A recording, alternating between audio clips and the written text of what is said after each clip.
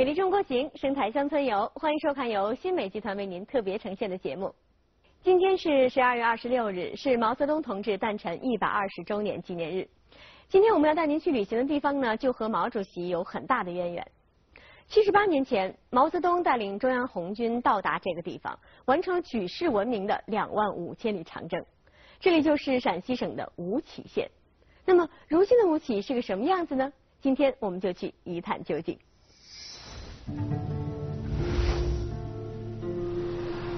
吴起县位于陕西省延安市的西北部，是南进中原、北通大漠的咽喉要道，历来是兵家必争之地。战国名将吴起曾在此驻兵戍边二十三年，吴起县名即源于此。县内保存下来的秦代和明代两座长城遗址，见证了这里的沧桑巨变。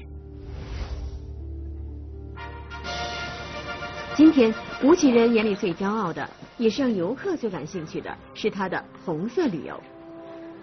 一九三五年十月十九日，中央红军历经艰险到达吴起，结束了举世闻名的两万五千里长征，而吴起也以长征胜利落脚点而彪炳史册。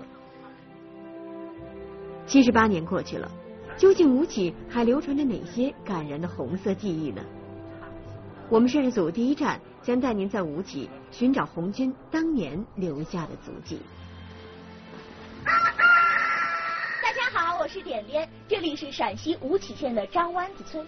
一九三五年十月十八日晚，在我身后的这户农家来了一位特殊的客人，他会是谁呢？这位特殊的客人就是毛主席。他在这个院子的第三口窑洞里住了一晚上。咱们的窑洞有有多少年？多几个好了。这个窑洞也一百多年。哦。今年六十七岁的张瑞生，当时还没有出生，但是自打懂事起，他就天天听父母讲毛主席在他们家住的故事。来这地方就不拿老百姓这个东西啊，就安那住下一住。主席来的时候是几点呀？七点左右，天黑了，父亲就招待这个吆喝。主席就坐这炕头这点纸的桌子啊，就是这个炕吗？哎，就这炕。你父亲知道他是主席不？我不知道。不知道。啊，这就知道警卫员带走，警卫员那肯定就是个官嘛。那啥时候知道是毛主席？第二天早起，组长主席打招呼了，说我就是毛泽东。一九三五年十月十八日晚，毛主席为什么会来到吴起呢？又怎么会住进张瑞生的家呢？原来，一九三四年十月，中央红军离开江西瑞金，北上抗日，实行战略大转移。期间历尽艰辛，直到一九三五年九月，决定前往陕北，与当地红军一起巩固和扩大陕甘革命根据地，把中央红军的落脚点放在陕北。吴起镇地处陕甘两省交界处，是陕北革命根据地的边缘地区。一九三五年十月十八日晚，毛主席率领中央红军来到了距离吴起镇四十多里地的张湾子村。当时这里只有三户人家，毛主席就住在了张瑞生的家中，这里也就成了中央红军进入陕北的第一站。当地至今还流传着毛主席与一碗羊肉臊子剁荞面的故事。救委员给主席端了一碗稀馅稀饭，嗯，给接进去。我大才说呀，那怕没一碗米，他们那怕吃不饱，他们给做点饭。那我母亲就给炒些羊肉臊子，多臊荞面，主席吃了。主席吃罢说呀，长城路上这是第一次的一顿好饭。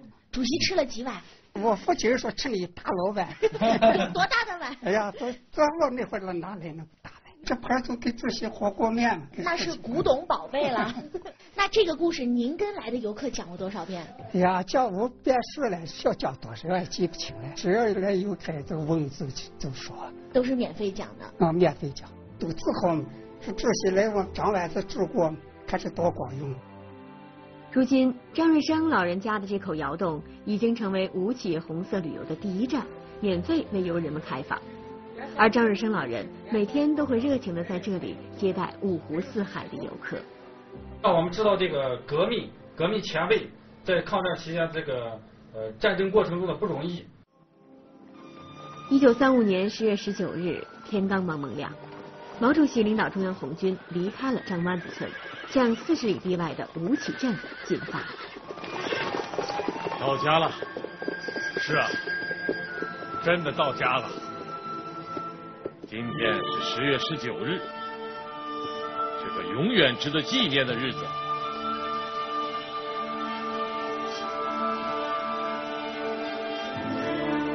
吴起镇当时的吴起镇虽然只有十一户人家，却是陕北苏区的大门。艰难跋涉一年之后，中央红军终于到家了。当天，他们就住进了吴起镇东北侧的新窑院。窑院分南北两院，北院是当年中央书记处和中央军委所在地，有张闻天、王稼祥、秦邦宪等领导同志的旧居。南院北起第二孔窑洞是毛泽东与贺子珍的旧居。七十八年后，吴起镇发展成了吴起县，而新窑院也被建成了五起革命纪念馆。主席在住进这孔窑洞的时候呢，没有办公用的桌子，警卫员只能把这个蒙板取下来，用石头给主席支了一张办公桌。后来当地的群众知道这个情况以后呢，就把自家的小炕桌送给了主席，用来办公。这个小炕桌呢是原物原件。然而，刚在新窑院住下，中央红军就发现敌人追到了家门口。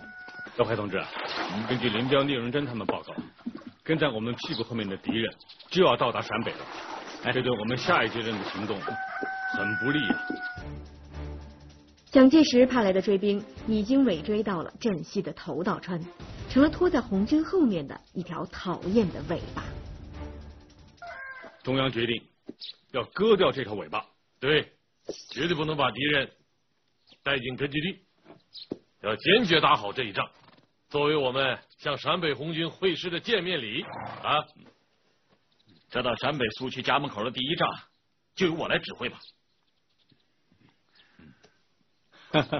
好啊，哎，老彭啊，我们可是等着你胜利的消息啊！你放心吧。一九三五年十月十九日晚到二十日，彭德怀在吴起镇周边精心部署了一个口袋战术，等国民党骑兵部队钻进口袋，彻底歼灭。一九三五年十月二十一日，毛泽东和彭德怀登上了吴起镇平台山的山顶。枪声打得激烈的时候，不要叫醒我；到打冷枪的时候再叫醒我。这句话呢，是一九三五年十月二十一日，毛主席在我身后的这两棵杜梨树下所说的话。当时呢，这里正在召开战前动员大会，这场战役成为了二万五千里长征的最后一仗，也就是著名的切尾巴战役。我现在所在的就是这场战役的指挥部。一九三五年十月二十一日上午七时，切尾巴战役全面打响。战斗进行了两个多小时，歼敌一个团击溃三个团，共歼敌六百余人，俘虏一千余人。至此，中央红军切断了尾巴。一九三五年十月三十日，中央红军离开吴起镇西进，与陕北红军胜利会师。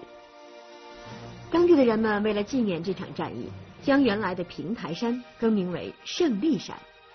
二零零九年，胜利山被建成中央红军长征胜利纪念园。山顶上的这两棵杜梨树引起了游客们的关注。当年为什么要选择这两棵杜梨树为这个总指挥部呢？因为在在这里，它可以纵观全局，四面八方都可以照顾得到。哦，那这两棵杜梨树就是当年的杜梨树吗？不是，八几年的时候是从原来的根系上发出来的。现在我们看我们脚底下的这个生蚝，请大家猜一下用来干什么的？铲雪渠。战壕。对了对了，这就是当年的打仗的时候在这儿所留下的战壕。像这样的战壕，在每个山梁上都有好多。这个胜利山有很大的教育意义。二万五千里长征打下来不容易哈，咱们要珍惜这个好日子。留小贴士：吴起县所有红色景点均为游客免费开放。领略完吴起县红色光辉历史，接下来第二站，我们要带您去距离县城四十公里的铁边城。这座始建于西夏时期的千年古镇，历来是边塞军事重镇。现在，它是吴起县正在打造的旅游新亮点。在这里，古城墙、点将台、烽火台等遗址静静矗立着，古色古香的仿宋建筑随处可见，让游人仿佛置身于历史的烟云之中，回到烽烟弥漫的昨天。在铁边城啊，最吸引我们的是原生态的陕北民俗表演。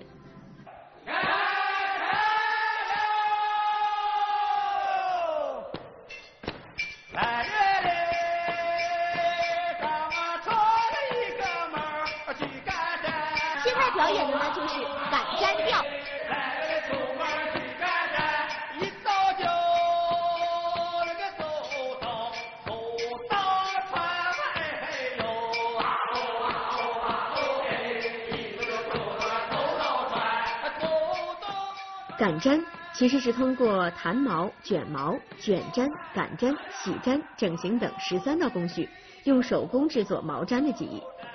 做出来的毛毡铺在炕上，可以防潮、隔土、保温。擀毡是宋朝末期由蒙古部落传过来的古老技艺，现在已经濒临失传了。为了传承这一传统技艺，当地的文化馆将擀毡技艺改编成了原生态的表演，深受游客们欢迎。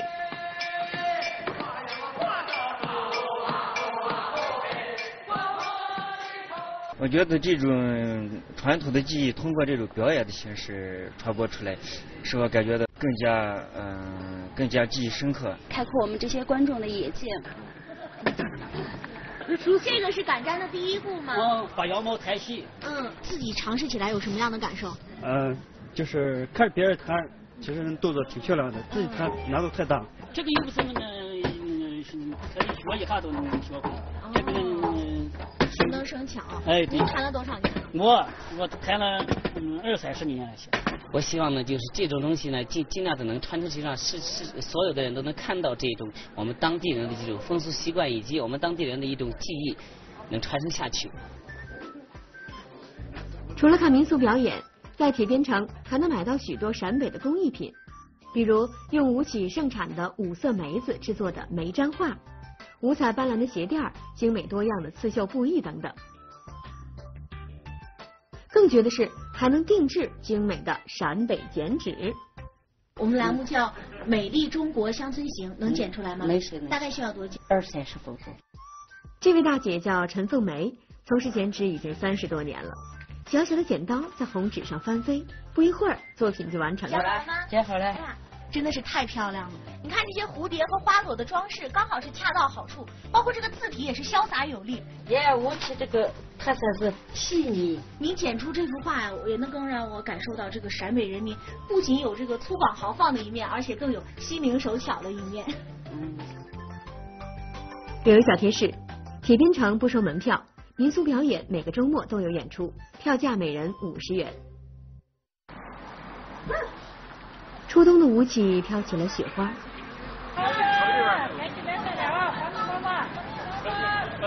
在寒冷的街头，一个小摊点前却是异常的热闹。妈妈，马上来了，好，给你买十二个。天，你这么开心，你说啥？原来是在卖这个黄米馍馍，咱黄米馍馍可是陕北人最喜欢的主食之一了。有一句歌谣说。黄米馍馍四芽芽，就像一朵金花花。一看，果然是咱吴起不是盛产这个梅子嘛，所以这儿的黄米馍馍特别的出名。游客到这儿来旅游呀，必要尝一道这道美食。今天算是我有口福了，碰上了。买这么多都自己吃吗？还是送人？嗯，不是，送给朋友的。朋友喜欢吃啊，他们家西安那边的。这个口感怎么样？好吃。这黄米馍馍怎么卖？两块。那就来一个呗。有点多。嗯啊。嗯，黄米馍可好吃了，没问题。好吃，很松软，很蓬松，而且吃起来还挺有筋道的。嗯嗯。米香很浓啊。我们这韭菜吃了。我们无锡县这黄米馍，这不是黄馍，这是泡馍。这位大姐名叫刘志霞，别看只有四十岁出头。卖黄米馍馍已经有二十多年了，在吴起县可是小有名气。那么，这金灿灿的黄米馍馍究竟是怎么制作的呢？摄制组决定到刘大姐的家里见识见识。这都到我家来，小院挺大的嘛。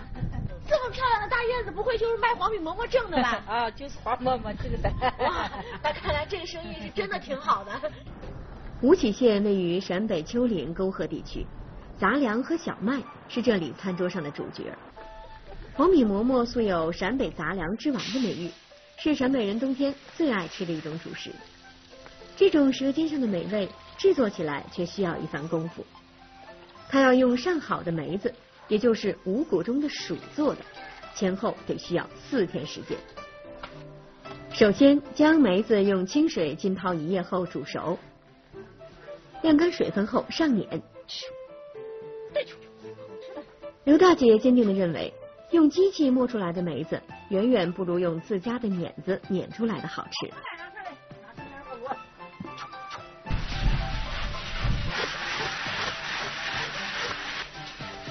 梅子面细细的筛过后下锅炒，炒过的梅子面会散发出一种自然的清香，这是黄米馍馍好吃最重要的秘方。这炒完的面现在就是要把它和好，好，就是一道，这就和好放在炕上，叫罚账。轿子就是之前发好的一点梅子面，揉完的梅子面在火炕上用被子包着，效果最好。八九个小时后，梅子面就会发生神奇的转变。这是刘大姐昨天发好的面，都给我发成汤的效果了，你知道吧？好热乎，嗯，这个温度大概有个七八十七八十度了。你看它都是甜的，这都几乎就是糖嘛。哎，真的很甜，就是糖水。这发到有时候甜跟糖甜，不用加糖却又香又甜，这就是黄米馍馍的魅力。发酵好的梅子面还不能马上上锅蒸，还必须经过一道重要的工序。晾这东西啊，越晾晾越越变它开花花越好嘛。哦，就说便于那个面裂开是吧？哦。怪不得我在那个车里见到您的面都跟张开笑脸一样，笑得那么灿烂，这就是晾的原因。嗯。黄米馍馍以裂的缝大为美，那如何让黄米馍馍开口大呢？把发好的梅子面冷却到冰凉，再上锅蒸就是秘诀了。为了保证每天都有黄米馍馍卖，刘大姐夫妻俩。每天从凌晨五点开始，交错完成各种不同批次的工序，要直到晚上七八点钟才能休息。这一年下来得用多少斤梅子？呀，得得十几吨梅子吧。一年收入就是八九十来万块钱。那也行啦。哇，真漂亮，黄澄澄的，每一个都是裂开花的样子。现在满屋子都是面的自然的甜香味儿。哦，好想吃一个。哇，好烫！不过摸在摸在手里也特别软。嗯，有人喜欢吃软的，有人还喜欢吃凉的。我还是喜欢吃热的，热的更松软，更筋道，而且这个甜味更浓。执行比干的特别好吃。多简单质朴的话，就道出了真理。所以我说，希望你们的日子以后就跟这黄米馍馍一样，越过越好，越过越香甜，天天乐开花。好，谢谢你们。有一小贴士。黄米馍馍可以在常温中保存两到三天，游客可以买回去带回家品尝。吴起是一座红色之城，二万五千里长征在这里正式结束，长征精神代代相传。吴起是一座历史之城，具有悠久历史的民间技艺在这里传承和发扬。吴起是一座美食之城，陕北人最爱的美食在这里保留了最原汁原味的味道。吴起人勤劳、善良、质朴，靠着旅游，他们走上了发展的新道路。美丽中国行，生态乡村游，我们继续出发。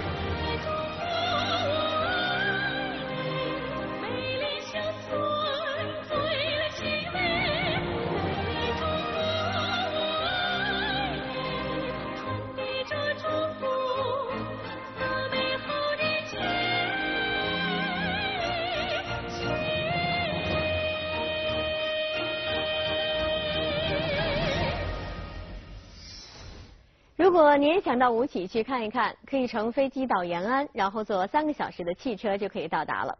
哎，喜欢美食的朋友到了那里啊，推荐您一定要尝尝那儿的羊肉。据说呢，那儿的羊因为常年吃当地特有的一种叫百里香的草，因而羊肉啊非常鲜嫩，不带膻味儿。其实啊，吴起县还是全国退耕还林第一县。如果春天到那儿的话，你会看到一个绿树成荫、花团锦簇的别样的黄土高原。好了，今天节目就到这里了，我们下期节目再见吧。西山岛上生长着怎样与众不同的橘子？